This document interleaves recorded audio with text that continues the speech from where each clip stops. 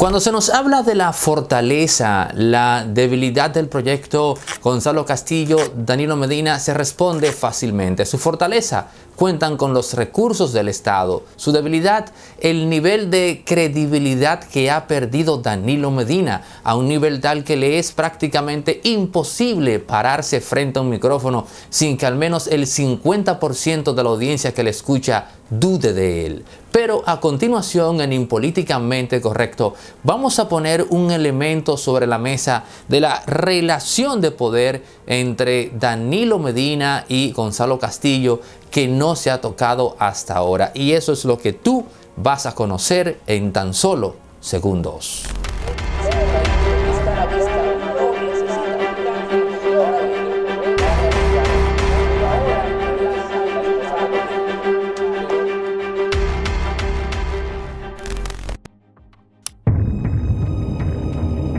Cuando pensamos en Gonzalo Castillo, lo vemos como ese títere, esa marioneta de Danilo Medina.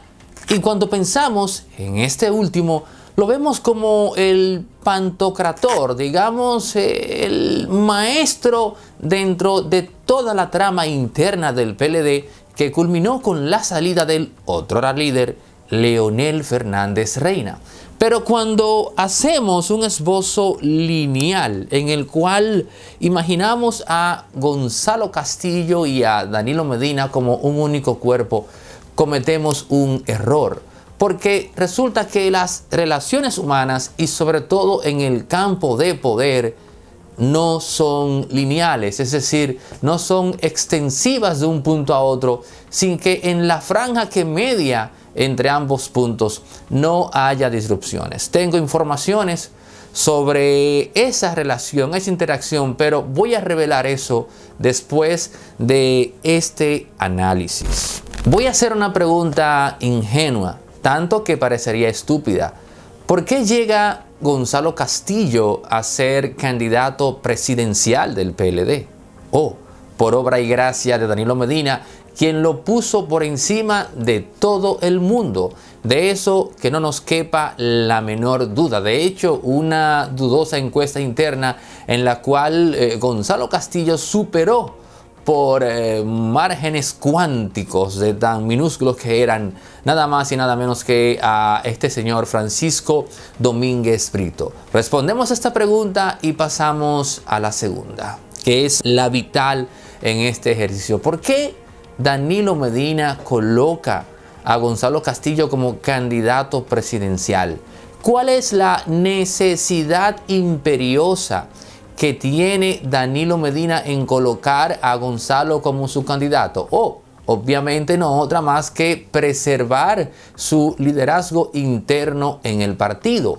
Pero aquí hay un asunto que parece ser que ni siquiera el mismo Danilo Medina ha sopesado y es el hecho de que reflejar esa necesidad imperiosa en el hecho de que sea Gonzalo el candidato, lejos de colocar a este segundo como una marioneta, no hace más que propiciar una sublación en la cual Gonzalo Castillo deja de ser el ente supeditado y pasa a ser el ente regente de esa relación de poder. Es decir, en ese organigrama de poder entre Gonzalo Castillo y Danilo Medina, el hecho de que Danilo necesite que Gonzalo sea presidente hace que esa necesidad de ese hecho coloque a Gonzalo en una posición de ventaja en esa relación de poder. Por más increíble que sea, yo se lo voy a poner en un ejemplo muy cotidiano para que usted termine de entenderlo de golpe y porrazo. Es como, digamos, la mujer que usted está persiguiendo, qué sé yo, a la cual usted le demuestra un interés inusual o más del que debería y simplemente ese exceso de interés termina espantándola pero la espanta porque también en el amor se da una relación de poder en la cual el que manifiesta mayor interés es el que tiene todas las de perder. Pero esa regla es general y funciona en todos los contextos de poder. Allí y donde sea que se manifieste una necesidad por, entonces los elementos que están del otro lado, los que se ven necesitados, son los que van a pasar a tener poder. Y eso es lo que está ocurriendo a este segundo con Danilo Medina y Gonzalo Castillo. Si Danilo cree que Gonzalo siendo presidente, si llega a serlo, va a ser, digamos, eh, un apéndice de él en el poder, está haciéndose una masturbación mental del tamaño de toda la Vía Láctea. Señores, el hecho de que Danilo Medina necesite que Gonzalo sea presidente hace que a partir de entonces el elemento de poder sea Gonzalo Castillo. Comprendan eso. Ahora, ¿dónde se manifiesta eso en la práctica? Y aquí viene la revelación. O en el hecho de que Gonzalo Castillo ha terminado cambiando a todo el equipo de asesores políticos que le puso Danilo Medina y ha contratado asesores políticos a criterio propio. Es por eso que la imagen de Gonzalo Castillo ha pasado por un cambio en la cual ya no lo vemos como un elemento, digamos, eh, que quiere hablar, por así decir, porque ese no es su fuerte. Inmediatamente Gonzalo Castillo tiene cámaras y sabe que tiene gente eh, haciendo un ejercicio de escrutinio, el hombre se tranca. Esa es la razón por la cual yo no votaré por él. No, bueno, de hecho, no votaré en sentido general pero nunca voy a votar por una persona que tenga deficiencias a nivel de argumentos. Pero el hecho está en que la gente en clase baja, tú la manejas con otro código. ¿Y cuál es ese código? Oh, el del hombre que resuelve. Y el nuevo equipo que tiene Gonzalo Castillo lo está vendiendo como un hombre que resuelve. Y está a su vez pues colocando a Luis Abinader como un individuo que solo habla. Estoy revelando cuál es la estrategia de ese equipo de campaña, que es un equipo nuevo que ha colocado Gonzalo Castillo ahí. Pero ¿por qué Gonzalo se da la chance, la libertad de sacarle cabeza al equipo de asesores que le nombra Danilo Medina y colocar gente directa de él? Oh, por lo que acabo de decir. Gonzalo Castillo en su foro interno, aunque no se lo diga Danilo, se siente como el individuo necesitado de que ejecute una misión del otro, porque el otro necesita imperiosamente eso. Pero en esa realidad entonces el mando de poder se transfiere. Además, Danilo cometió un gran error en un discurso. ¿Cuál fue? Oh, el hecho de decir que el que ganase en febrero, en este caso marzo, iba a ser el que tuviese la mayor posibilidad o el virtual presidente de la República. Eso a Danilo le ha pasado factura. Obviamente la oposición, el PRM, ha comenzado a colocar spots en YouTube y otras redes precisamente con ese corte para venderse como elementos victoriosos, cosa que honestamente para nadie es un secreto que a este segundo son los virtuales ganadores. Ahora bien, Gonzalo Castillo y Danilo Medina no es que estén divididos, pero yo quiero que tú comprendas que Gonzalo no es el títere de Danilo.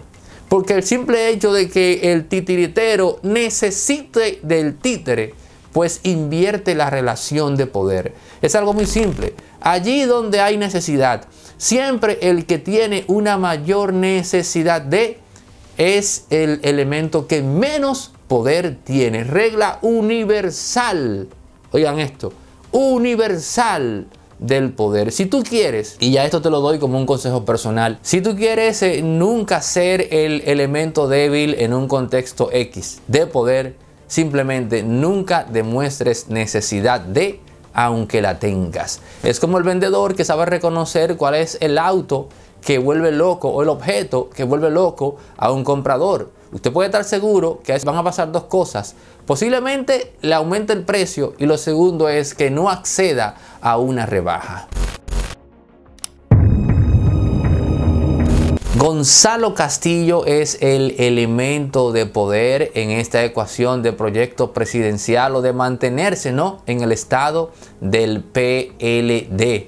Gradualmente se verán otras cosas, otras acciones de Gonzalo Castillo tratando de desmarcarse de Danilo Medina en la medida que se presuponga que está cerca de. Ahora, eso es un asunto delicado. Usted dirá, bueno, pero es que si Danilo percibe que Gonzalo se le está saliendo de control, pero señores, Gonzalo no tiene por qué temerle a eso, por algo muy simple. Danilo Medina no tiene otra opción más favorable que el hecho de que Gonzalo llegue a ser presidente. Eso es como el niño bellaco en la familia, qué sé yo, que tú por H o por R quieres más, es al que tú le aguantas más cosas. Pero en este caso no se trata de que fulano quiera, se trata de que fulano necesita. Y en ese proceso, pues eso le permite al otro hacer cosas que en otro ámbito no se podría dar el lujo de hacer.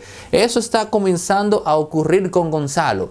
Esa es la lectura que yo le doy al hecho de que este individuo haya despedido, ¿no? O haya salido del marco de influencia de los asesores políticos que le contrata Danilo y haya preferido pues buscar a otros, que por cierto ya es evidente el giro comunicacional político que le han dado a la figura de Gonzalo Castillo. Como se ve, y es lo que quiero que aprendan señores, el poder no es 2 más 2 es 4. El poder no es una línea, por así decir, eh, o un gráfico geométrico enteramente lineal. No el poder tiene disrupciones y las mismas se dan por el hecho de que a pesar de que tú y yo estemos en un mismo equipo, eso no significa que yo voy a actuar conforme a la voluntad de la persona que esté inmediatamente superior a mí. No, porque entonces tendríamos que preguntarnos cómo ese individuo va a lograr escalar precisamente a el punto en el que se encuentra esa persona que baja la raya. O tiene que llegar a un punto en el cual desacate y actúe por cuenta propia. Y eso es lo que está comenzando a ocurrir con Gonzalo Castillo a este segundo. Luego de que este individuo se da cuenta de que Danilo necesita, y póngalo en mayúscula, necesita que él gane. Señores, sin políticamente correcto lleva ya más de 3 millones de vistas. Comenzamos en octubre a trabajar diariamente en la plataforma y tenemos en ese periodo casi 23 mil seguidores o suscriptores.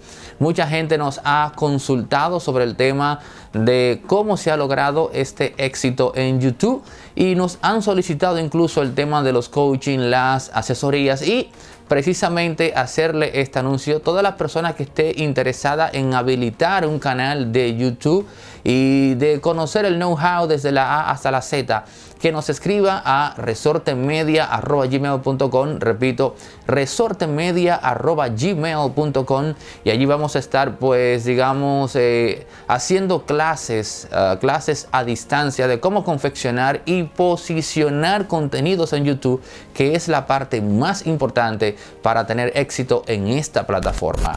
Si te gustó el comentario y no te has suscrito, hazlo. Activa la campanita y comparte estos contenidos en todas tus redes. Con eso es más que suficiente para que des a conocer una forma divergente de analizar la realidad de República Dominicana y el resto del mundo. Impolíticamente correcto, la visión de Aneudi Santos.